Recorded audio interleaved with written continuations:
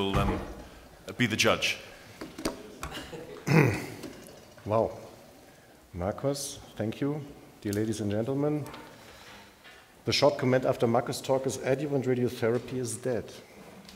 After my talk, you will be able to say, long live adjuvant radiotherapy.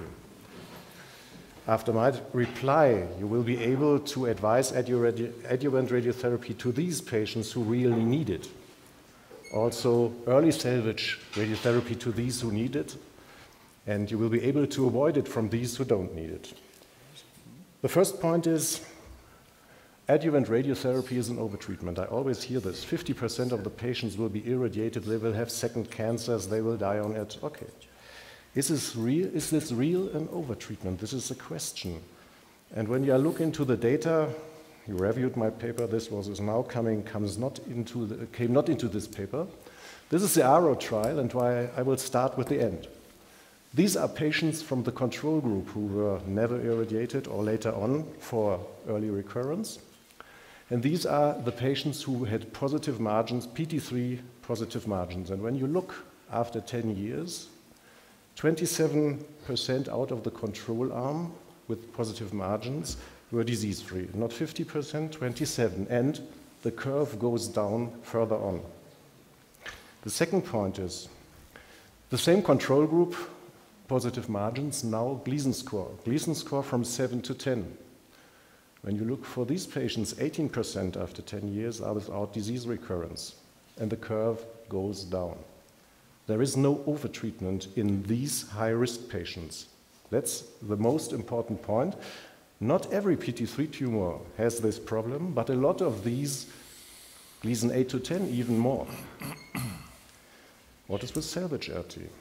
This is uh, the famous Stephenson paper with 1,540 patients, and um, they had not early salvage, about, I think, 5 to 600 at early salvage, but when you look after two years, you see 40% of the patients recurred.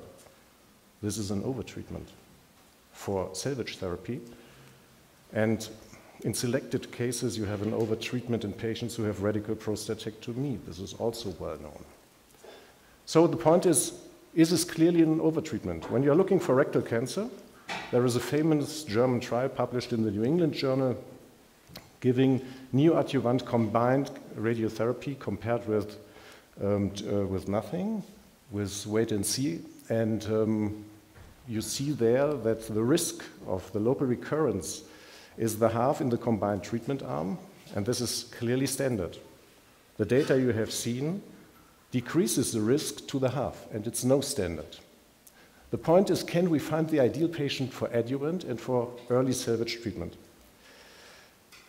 The first question is, do margins matter? These are data from Stephenson and newer ones from Josipovic. And when you are looking for these curve, you can see is a hazard ratio relative risk is double for these who have positive margins. But when you look for harder endpoints due to this paper for prostate cancer specific survival, then it's questionable. Do the extent of margins matter? Yes, the focal positive margin also has a clear decrease of PSA um, recurrence-free survival, and much more the extensive positive surgical margins. So there is clear effect that the margins matter. When you're looking into the American trial, I will go very short over these, then uh, they have shown an uh, overall survival advantage after 10 years of about one and a half year, and the others, we didn't see it.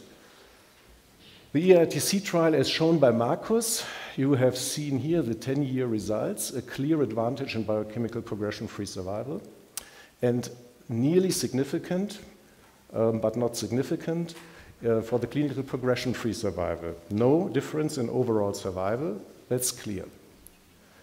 The German trial, which is now coming up in European urology, and um, you have heard about this, just a point a step back, all PT3 tumors important. The only study with a clear definition of PN0, a median of eight lymph nodes was taken out. Not so much, but not so bad.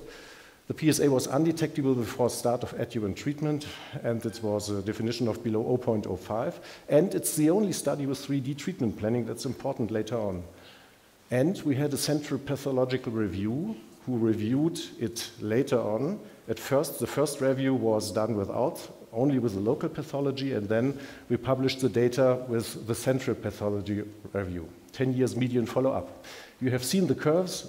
The primary endpoint, and I'm a little bit astonished, Marcus reviewed it, I think you didn't read and looked for the primary endpoint. It was biochemical progression-free survival and not overall survival.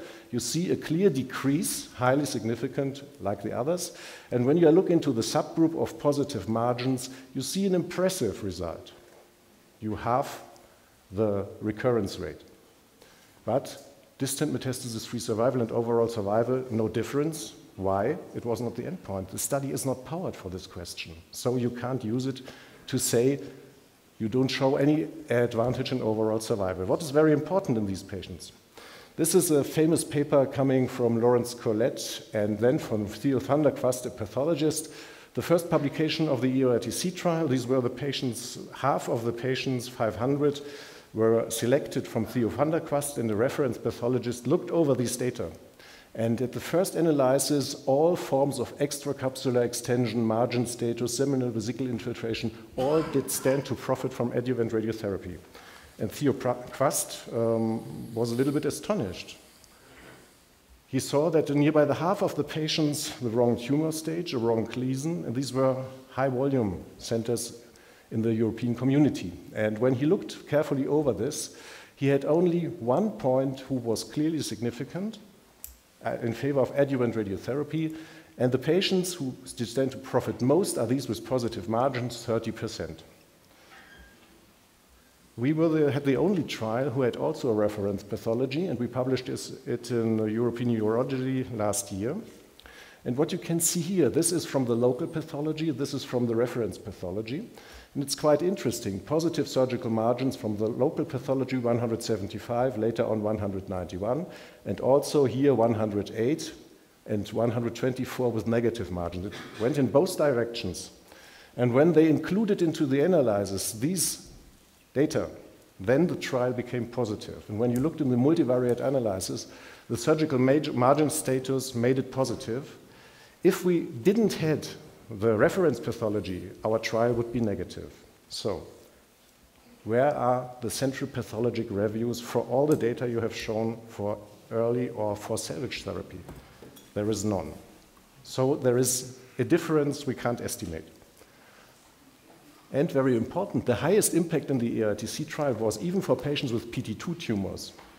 180 patients randomized in this trial, and the biggest effect was in these patients not only in PT3 tumors. A point who has not been discussed until yet, adjuvant radiotherapy for positive nodes after radical prostatectomy, a huge retrospective study, again coming from Briganti and between Milan and Rochester. 700 patients were investigated, and it's retrospective, clear, all had positive nodes, and it's a propensity matched pair analysis, group one, were these who had adjuvant radiotherapy plus hormonal treatment, the others only hormonal treatment, median follow-up eight years. And retrospective, there is a 20% overall survival um, favor due to the patients treated with adjuvant radiotherapy for lymph node positive disease. And in a recent paper from the group of Abdollah, they again looked at the same patients with a longer follow-up, 8.4 years, and in overall survival, note that is metastasis-free survival, there is also a 5% overall survival in the patients treated with adjuvant radiotherapy. When you're looking for breast cancer, the effect after 15 years on overall survival is about 3 to 5%, not more, but it's highly significant. The most important point for my personal feeling is the comparison of side effects. I always hear there are the same side effects using adjuvant radiotherapy and early salvage radiotherapy. These are the data Marcus has shown from our 10-year results study, and you see grade 3, 1%, grade 2, 2% for the bladder, grade 2, 1% for the rectum. 60 gray is given very safe, also 64 gray, very safe with IMRT or 3D. It was the only study using the modern techniques, not the most modern techniques. And this is a nice paper, paper coming from the Memorial Sloan Cancer Center, as cited in other parts uh, earlier. It's a retrospective study with 300 patients using IMRT 3D. It's postoperative salvage therapy. and they looked for side effects. They gave 72 gray in the median. And what you can see here for late GU toxicity, you see even using IMRT, 15% of grade 2 plus side effects. And you see the effect of IMRT, only 3% had rectal late GI toxicity, 15% GU, 3% GI. And here we have patients, they looked for incontinence after salvage radiotherapy. Six of the 17 patients who developed grade 3 urinary incontinence following the management of urethral stricture. So there are significant parts of side effects using high dose modern technique, salvage radiotherapy. These are not published data with a long follow up, seven years from the Charité series, from myself series, 66 gray, and we had also 5.5% grade 3 side effects, 1% in the study of adjuvant radiotherapy. Marcus has shown this. These studies are all under the way, comparing adjuvant and salvage treatment. These are the new recommendations of the American Society of Urology, um, of the AUA and the ASTRO, and this is coming from this paper. And the clear point in this guideline statement was in the patient's PT3 and so on, it's standard, evident, evidence strength grade A. And we said the same in the updated part of the, Euro, uh, of the, of the European guidelines and also we said, we said treat the right patient, PT3, Gleason 7 to 10, PT3, and treat them adjuvantly with a low rate of side effects and start with early salvage even in patients below 0.2. And so you have two clearly different groups. The first stand to profit from a low rate of side effects, and we have a high grade of evidence. And for the second one, we have a very low grade of evidence. You can see it here. For the first one, a 1B, and here it is 3. So altogether, my conclusion is adjuvant radiotherapy is absolutely no overtreatment for the high-risk patients, and these are patients with high Gleason grades, positive surgical margins, the combination of this, and also the lengths with, length, with long positive surgical margins. And for these patients, including the trial from Briganti and myself, these studies are not powered to compare these with early salvage radiotherapy. We have a level of evidence 1A. The side effects clearly favor adjuvant radiotherapy.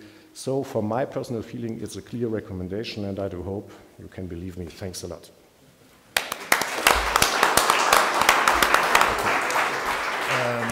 Thank you very much for this really excellent talk uh, and pro and contra. Is there any uh, question?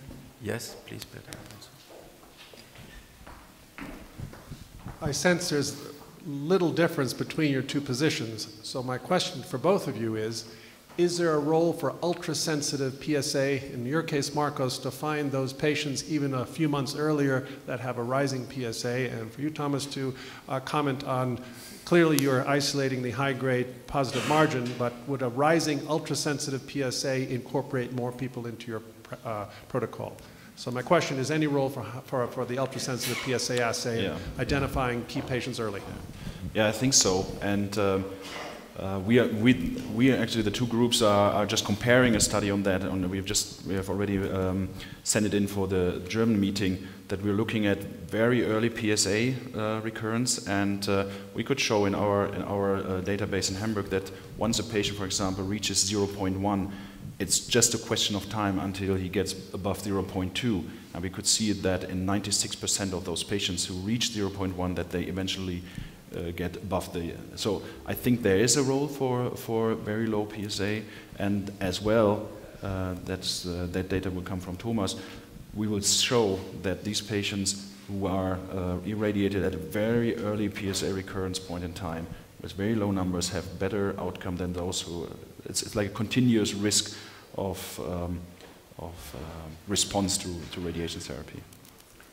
From my point of view, the most important point is that even in the patients with the PSA below 0.03, and they have these risk factors I have shown, they have a very high risk to develop later on a recurrence.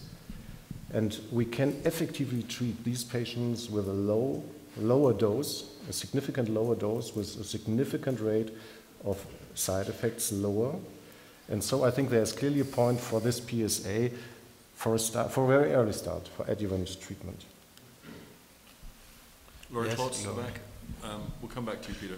Um, I, one, those were two great and very balanced talks. My question for Marcus is, would, do you think it's true that if you have a patient who you are certain is going to have progression, that in a sense, the earlier they get the radiation therapy, the better? Do we have consensus on that? If, if you know someone is going to progress, should, is it true that the earlier the better? And my question for Thomas is, I didn't hear much about stratifying patients for risk of recurrence beyond PT stage, positive margin, and grade. But for example, there's some German data I've seen that extent of positive margin, number of positive margins is predictive. And you can identify a group who fulfill your criteria but still have a low risk. So, so then shouldn't we be trying to really stratify and say, in the guy who we can be almost certain is going to progress based on his pathologic features, we should treat him adjuvantly and then offer salvage to the ones with a lower risk? So um, that's exactly what we are doing when we have this, this uh, weekly meetings. We don't only look at, at, PT, at PT stage and Gleason, but as well lengths and, and the Gleason grade at the margin. And I completely 100% agree with you that the lower the PSA, the more effective it is. And if you are certain that somebody will recur, as we are doing on a daily basis, we even uh, recommend adjuvant radiation therapy, certainly.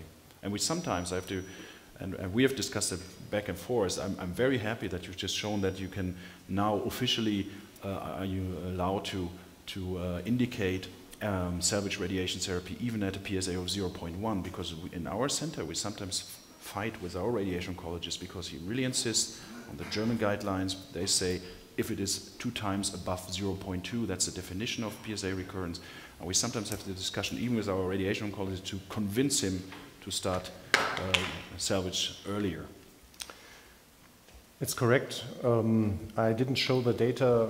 The length of positive surgical margins and the number has clearly impact on the um, recurrence. Um, it's, it's also shown in the European Urology paper. And for example, in our tumor board, for a patient with a PT3 R0 patient, Gleason 6 or also 7, I would not recommend adjuvant radiotherapy due to these data. I would wait. But for a patient with two positive margins, PT3A, and a length of about two to three millimeters, then we recommend adjuvant radiotherapy. But we wait, that's very important, and until we see the nadir. That's very important because when you start too early, it's possible that these patients would never have an undetectable PSA. You can start at a moment with adjuvant radiotherapy when the PSA is detectable, and this is clearly an undertreatment because that's salvage radiotherapy. That's very dangerous. You have to wait until you have the nadir. That's the most important, the most important point I personally see. So three months later, you know it. Yep. Mm-hmm. Two there, back to Peter, and then. That was one of your final conclusive remarks was that uh, adjuvant radiotherapy is not overtreatment. I think this cannot remain uncontradicted because Marcus showed uh, with your own data that 35% of the patients you treat would not develop a recurrence without adjuvant treatment, and another, say, uh, 55 patients will develop the recurrence anyway. So there are 20% of the patients who benefit and 80% do not benefit. So your over treatment rate is 80%. Yeah? And the question simply is, do, does, do these 80% over treatment rate, uh, are they justified by the reduction of side effects because you are allowed to give a little bit less radiotherapy as compared to early salvage radiotherapy, but you cannot contradict that there is overtreatment in adjuvant radiotherapy in patients who a, have a PSA of zero after radiotherapy, after operation. I agree, Michael. It was not precise enough. It's a very low overtreatment rate in the right patient. And you can say also radical prostatectomy as primary definitive radiotherapy is an overtreatment in a lot of patients. You have always in medicine, you have overtreatment. For these rectal cancer patients where this treatment as I said, is standard, proven standard worldwide. You have an overtreatment rate of about 60% for combined chemoradiotherapy to give a benefit to about 15%. It's well accepted. Yeah. May I comment on that? Yeah, so you're telling us there's so much overtreatment, so we, we accept it as well. No, no, no, And- no. and the I other- s- no, no. I want to say that overtreatment is a point which is well accepted in other parts. I will not accept it. So I said treat the right patient, where the overtreatment rate is only about 10 to 20 percent, and that's very low when they profit such a much. And I, such a- I, I But again, just it's- want it's- to comment one, one thing, or you start? It's semantic. How can you define 80% as very low? This, is, this contradicts my common horse sense. What do, why do you think? Okay, well, we're not 80%? going to win on that No, no, one. no, no. So, just, uh, just, just a moment. Why 80 percent? Why 80 percent? The, the 80% Where do came you come from? 20% benefit and another 80% do not That's- benefit that's- because they develop recurrence anyway or they are cured anyway. Anyway, let's agree to move on. So we can't agree on what's a lot I, and I just not want a to make one, one little comment. Go on, because there, are which two- is- there are many questions. is- so what we heard from you that, that adjuvant radiation therapy has lower side effects than early salvage. Agree? When you use 72 gray. You agree? Okay. When you use so you say gray. it's for an advantage to give 100% of men a low side effect profile than 40 or 60 percent of men a higher uh, uh, uh, mobility profile. So I think uh, if you put it all together, there's no advantage because you have so many patients with low side effects. Yes, but I didn't say 100 percent Okay. low. Well, we'll, we'll, uh, where- who's got the microphone? we I can't see. Okay. Okay. Um, Hans Lilja, uh, congratulations to both of you. Excellent. But you're also debating on an aspect here about the tumor marker and its uh, app, uh, application in this setting, where I think there should be less controversy uh, because there are technical solutions to move forward. But I don't think there has been enough explanation or uh, um, uh, urge from the community to use that, uh, those kind of technical advances that could be in place. Uh, we have the biochemical setting of that we know that we can declare um, an individual uh, BCR free after surgery within about six half-lives of the free forms, which would make a week. So that could be one way. Uh, uh, And we could do that with uh, very low detection limits. We know that there are FDA cl- um, uh, cleared assays that detect down to a few picograms per ml. Uh, They were brought off the market, unfortunately, after we actually had shown that a a- continuous rise with two picograms per ml a month uh, during, in this case, a six to uh, 18 month period, or six, six months to three year, I can't remember exactly, uh, with three measures in, in between there, uh, you could have a 97% um, accuracy of declaring individuals who would have no uh, metastasis eight years or longer out, uh, which we were in the setting actually to try to uh, independently replicate. So if we bring these kind of arguments together, we could have much more accurate and sensitive tools that are specific to detect an early recurrence safely and see that it is linked to a, a rise in the PSA. But it's not possible to do it on the type of typical laboratory instruments that are brought in in the large uh, automation setting. We need a subset where we focus on that setting. And then you can move forward and probably bring the time difference between an ART and in, an ESRT down to almost a minimum. So that's a statement. We'll, we'll, let, we'll let that hang. Neither of you commented on the biology, and I just wonder whether you both would. So um, the pro-inflammatory state after surgery is, is not a good place for tumor cells. Uh, the proliferation rates are much increased due to the inflammatory markers. There's good animal evidence to show that trauma increases proliferation. Um, there is good evidence now, I think, in breast cancer that that's the case. If adjuvant works, it's because it, it stops that process. Um, and, and, and that process would lead to metastases or a change in the phenotype of the cancer. Um, I wonder if you could both comment on that. So, in terms of, in biological terms, adjuvant would um, impede um, or mitigate that process, whereas delayed treatment obviously wouldn't. It would allow that um, process to occur. Whether that should drive our decision making or not. I mean, that's a, a nice theory behind it, but the, the, clinical data do not, to me, suggest that, that really this is an, an effect we have to think about when we uh, indicate adjuvant or early salvage. I think we should, uh, as I said, look at the, at the PSA and, and see what's, what, what's, which patient needs the treatment. But it must be the mechanism of action, yeah? So treating early must stop. That's, that's like, I Either think that's must sterilize tumor cells or affect the inflammatory response to surgery.